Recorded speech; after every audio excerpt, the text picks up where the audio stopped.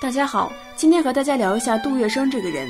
我们知道他是民国时期上海滩的霸王，虽然是黑社会，但是杜月笙给世人的认识并不是那种地痞，而是具有文化气息、爱国品质的人。而杜月笙说了六句话，让世人都了解了他霸气的一面。在民国时期，社会环境比较动乱，在上海有三个人被称为三大巨头，他们就是黄金荣、张啸林以及杜月笙。其中杜月笙最会做人，虽然说杜月笙只是一个黑社会，但是社会上的人对杜月笙评价非常高。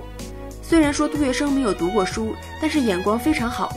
对于人生观、世界观，杜月笙有着自己的见解。他一生说过六句话非常重要。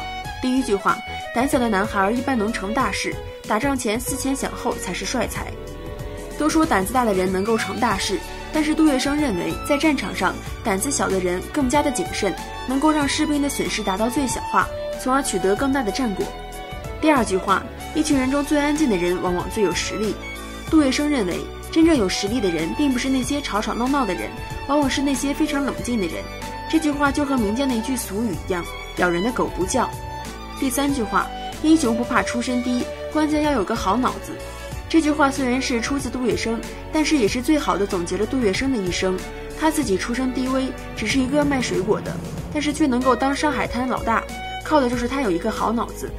第四句话，锦上添花的事情让别人去做，我只做雪中送炭的事情。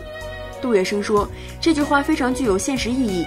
对于想结交的人来讲，锦上添花的事情做得再多，人家也不会记住；但是雪中送炭的事情，别人肯定会一辈子难忘。第五句话。头等人有本事没脾气，二等人有本事有脾气，末等人没本事大脾气。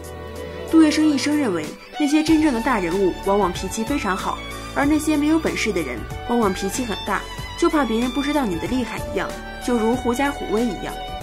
第六句话，如果日本人想利用法租界打中国人，我杜月笙自信能在两个小时内把法租界全部毁灭。这句话是在杜月笙抗击日军的时候所做的宣言。并且这句宣言成了当时上海战场上最为霸气的宣言之一。当时日本想通过法租界来攻击我军，于是杜月笙就在媒体发布会上公开宣布了这句话。其实杜月笙一生说过很多的话，而以这六句话最为让世人熟知。杜月笙不仅仗义多情，而且他的爱国情怀也可以说是当时上海滩难得一见的。讲到这里，我想问一句，大家最喜欢哪一句呢？